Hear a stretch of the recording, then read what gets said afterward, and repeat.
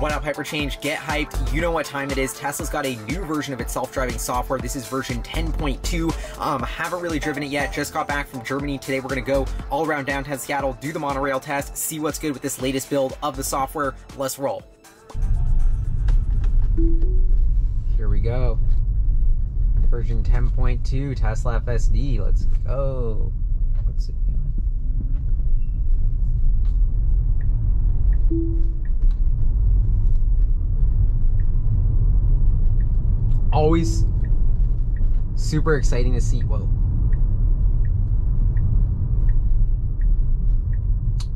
Always super exciting to test out the full self-driving software right after I've been away for like two weeks and haven't driven my car because then you really get like you just kind of forget what it was. You know, I've been in Ubers, I've been letting humans drive me, um, haven't been trying the FSD, so I feel like it's always amazing to come back to it and just kind of see how epic it is. Going good so far.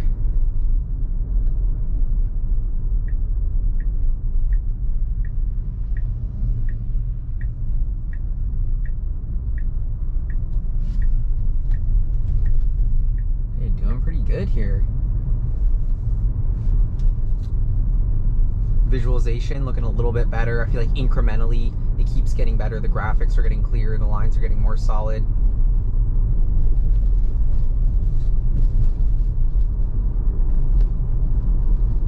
Now we're at a really interesting point in the rollout because Tesla started to give this to more and more drivers, um, expanding the beta beyond just the first testers here, uh, starting with those 100 safety scores, moving to 99 safety scores. I mean, this is the way Tesla's doing it is very interesting. Um, and it's, I feel like blessed that I didn't have to play the safety score game to try and get on the FSD beta because that looks intense. Um, you basically have to drive perfectly. You know, you can't turn too hard, you can't accelerate too fast, you can't get too close to another car, or any of these warnings go off, and that will impact. Okay, this is going to be interesting.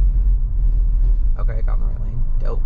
Um, but I don't know. I think Tesla's on the very, very cutting edge there because you, it, once you see the safety score, you see how unsafe humans are driving. I think it's funny because you're like, you know, I, uh, and I think it, it's making us all safer. Like, I bet you there's no safer time than everybody trying to get the best Tesla safety score. So, by forcing these drivers to try and get the self driving software and to be good, Tesla's making the entire road safer, which I think is really cool.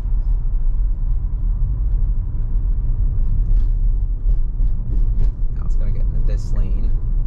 Wow. I mean, I so far it started off with a little like hiccup, but no disengagements I mean, really great performance so far.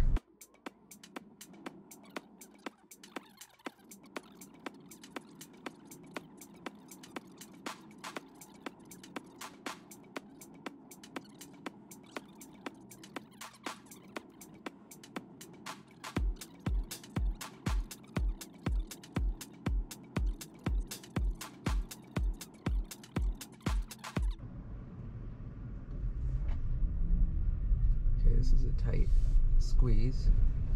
Let's see how it does. Wow, very smooth right there.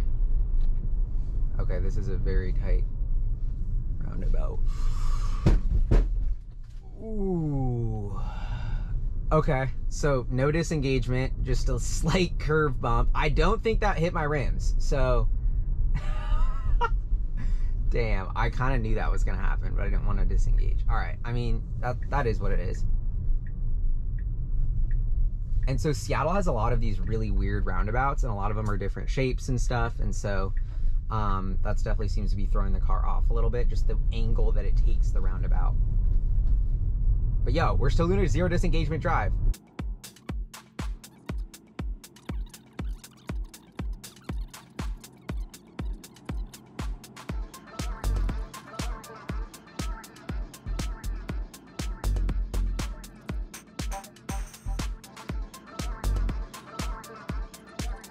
Is pretty cool. We're it looks like we're batting a thousand so far. We're about to get to this first. Uh, it doesn't realize I got the right away. Oh no, it thinks it was being friendly. Okay, wow. Okay, that was so. I actually gave it juice right there because I thought we were gonna go. Then the other car went, but the Model Y still slowed down, even though like I told it the wrong thing to do right there. So that was very good honestly super impressive with the way it handled that.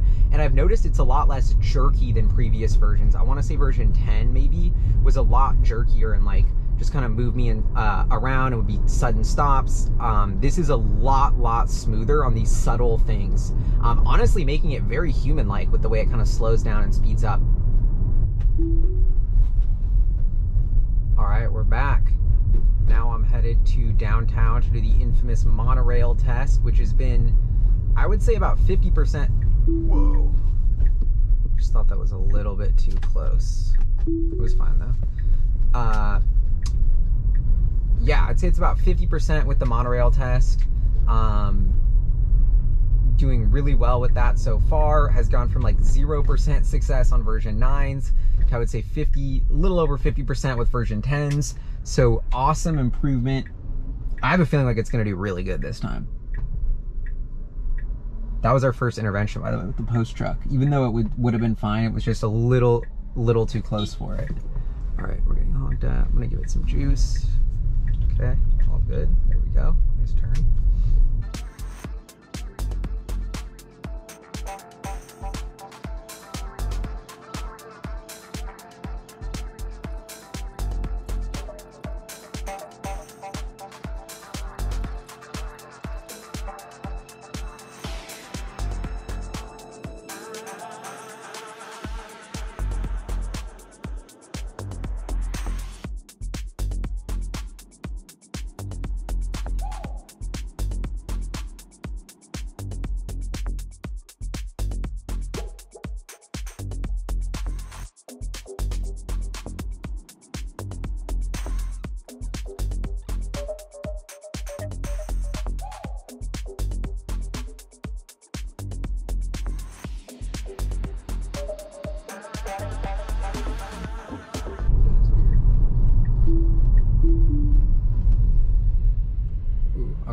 Okay, I disengaged it. I don't know if it. I, I didn't look like it was gonna stop there.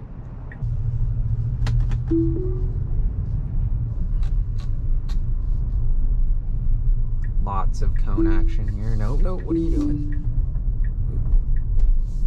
Okay. I mean, this is some weird construction. Looks like we've outsmarted FSD with this. Um, I don't know. Is it worth turning it back on right now?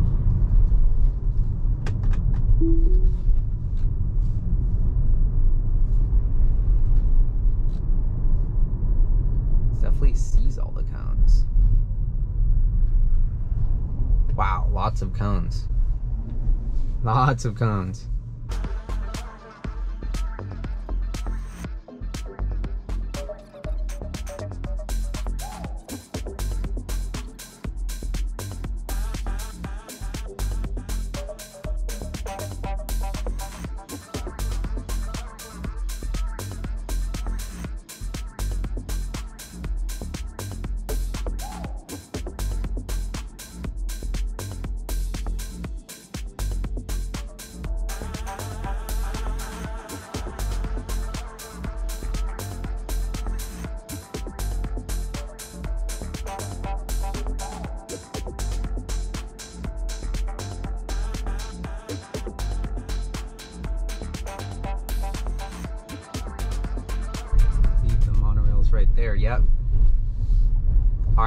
Is me disengaging it so we can set us up for the monorail. See you in a second.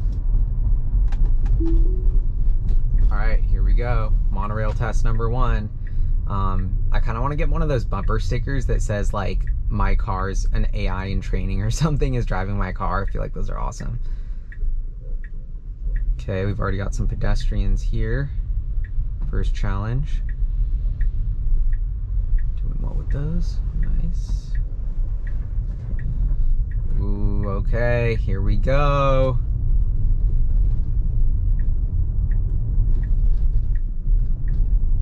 We're red light.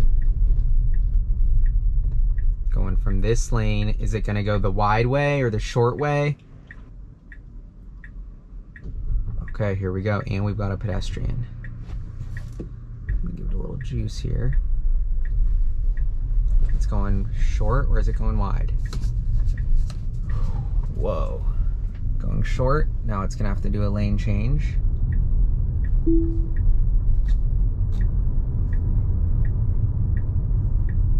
Okie dokie. All right, now I guess we got to see if it makes the lane change.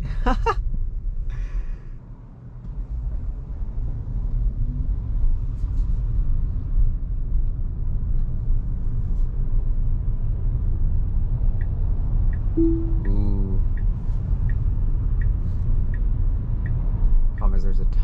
Cars in the other lanes. A Ton of traffic. Whoa. Fake out there. Oh, now if it waits. All right, I think it would have done it there, but I just had to take over because that was too extreme. And this guy's looking at me like I'm crazy.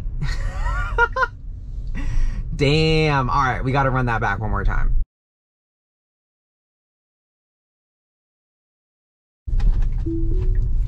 Monorail test number two.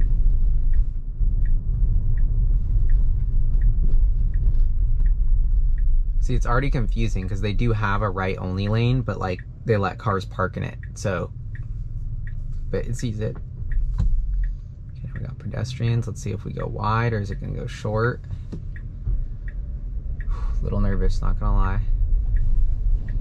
Ooh, it's going wide. Come on, go wide. Yup. Yup. Yup. Wow, let's go! Successful monorail test. It took it wide. That was dope. Buttery lane change to follow it up. Now it's just flexing. All right, let's do it one more time.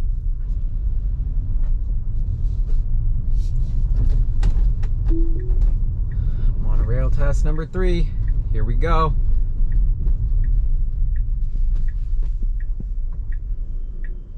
Got the light. Waiting for this people to cross. I'm gonna give it a little juice. I think this actually helps it to have the pedestrian because then it forces it to, to go wider. Oops. Let's see what it's doing now. Ooh, is it gonna do it? Woo! Okay, a little bit finicky there, but we we got it. Going for a lane change. Ooh, there's the monorail. Wow, there you go. Perfect way to end it. Let's go. All right, now I'm gonna give my recap. That was epic though. All right, so first impression with version 10.2, I gotta say this is by far the best version. Definitely impressed me with the, the amount of improvements, smoothness, a lot more human-like. Um, although the monorail test wasn't perfect, I just overall think this was a huge step in the right direction. Um, Tesla's making crazy fast pace with updating this every week or two weeks, so can't wait to see what the next update is. They're gonna expand this to more people. Be on the lookout there, keep your safety scores high, and I'll see y'all next time. But overall, amazing job, Elon the squad. 10.2 knocked it out of the park in my in my opinion amazing progress. Oh, and I also wanted to say, like, I feel like I've been having more and more zero intervention drives and not noticing them. This is the transition to full self-driving software. Like, I'm, I'm driving from point A to B, I activate FSD, I don't even realize I never disengage. Maybe I gave it a little bit of acceleration boost, but that's the only, uh, you know, intervention or, or action I had with the vehicle as it's getting there. We're having more and more drives that are flawless, zero interventions um, or zero disengagements. I mean, this is it's incredible to watch. You know, we knew this was going to happen, but the theory is that in a few years it's going to be like it, you'll only remember, oh my god, I can't believe I had a disengagement in that drive. Well, we're starting to get there. We're starting to get to the point where it's actually surprising to have a disengagement. Usually, the car, I would say about 50% of the time or more now, is getting you to your destination without a disengagement. This is incredible. Um, just, I never thought the technology would be getting this good, good this fast, but it is. So there you go.